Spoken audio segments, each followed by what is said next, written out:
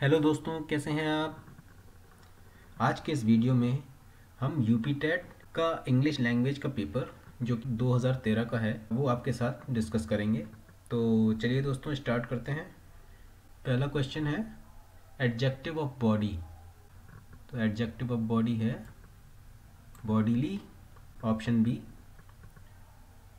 as unstable as as unstable as mercury option C Give one word substitution to the following. Life history of a man written by himself is called.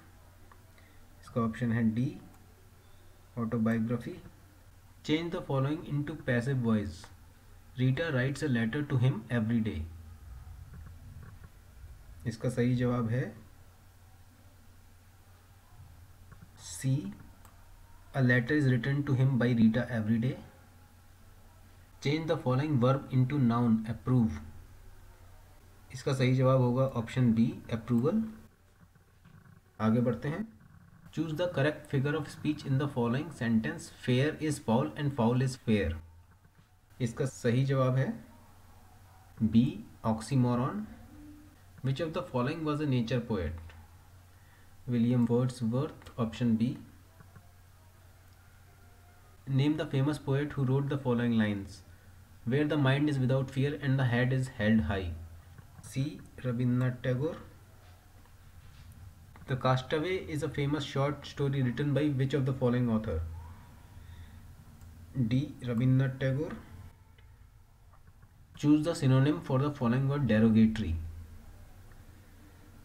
सही जवाब है सी humiliating आगे बढ़ते हैं Poos ki Raat is written by which famous author A Munshi Premchand in the given two sentences select from the answer choice the word which has the same meaning and can be use in the same context as the underline part of both the sentences the stadium is so large that can seat more than two hundred spectators Mohan is willing to adjust his tour programme accordingly तो ये seat और adjust ये दो underline words हैं, जिसको हमें इन चार वर्ड्स में से किसी एक वर्ड से रिप्लेस करना है।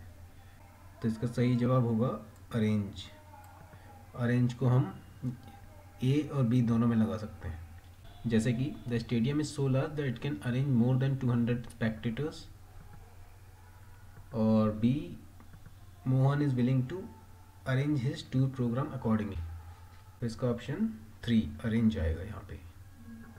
चलिए आगे बढ़ते हैं। Point out the figures of speech used in the following sentence. Integrity is the backbone of character.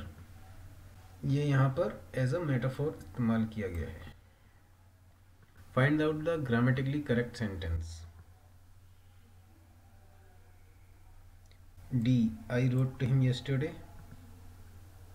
The poem on his blindness is composed by which of the following poets? तो सही जवाब है सी John Milton Take out the incorrectly spelled word इसका जवाब है instigate यहाँ पे spelling mistake है. I N S T I I होना चाहिए यहाँ पे. इन प्लेस ऑफ़ ई यहाँ पे आई होना चाहिए. चलिए आगे बढ़ते हैं. Pick out the incorrectly spelled word exaggerate यहाँ पे भी ई e की जगह ए होना चाहिए.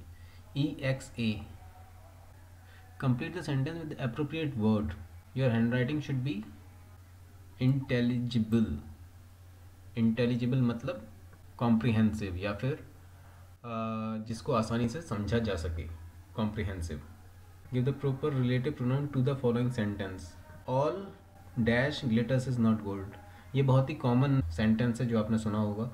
और यहाँ पे बिना ऑप्शन पढ़े ही आप बता सकते हैं all that glitters is not gold option B चलिए आगे बढ़ते हैं. Find out the appropriate meaning of the given word etymology. इसका जवाब है D study to the origin of words आगे बढ़ते हैं। Find out the appropriate meaning of the given word inimitable इसका सही जवाब है इनकेपेबल ऑफ़ बीइंग इमिटेटेड चलिए, आगे बढ़ते हैं। Choose the one word for the following expression a lover of mankind a lover of mankind को बोलते हैं philanthropist option C find out the incorrect sentence.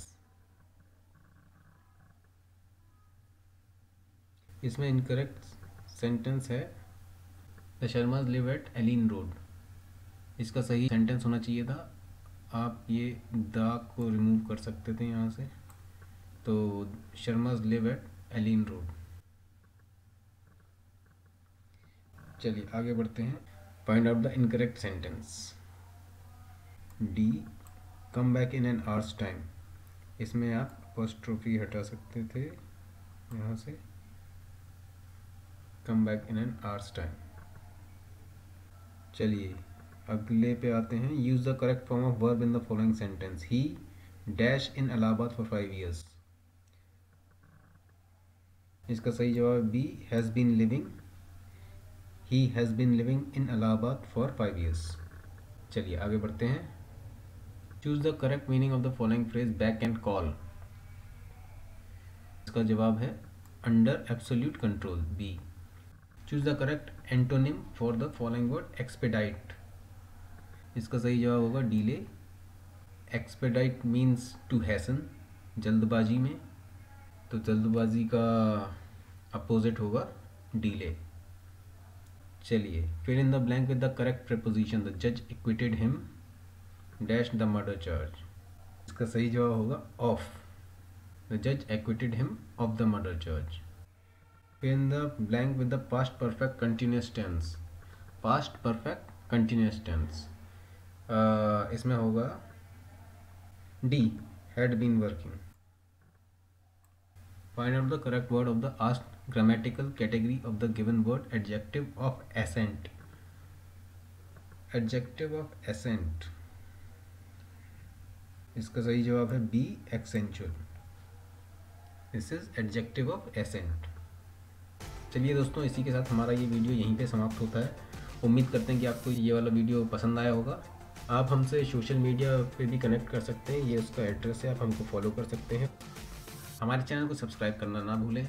हमारे चैनल की नोटिफिकेशन भी आप ऑन कर लें, क्योंकि हमारे जो भी नए वीडियोस आने वाले हैं, उसकी आपको नोटिफिकेशन मिल जाएगी। थैंक यू धन्यवाद बहुत बहुत आप लोगों का।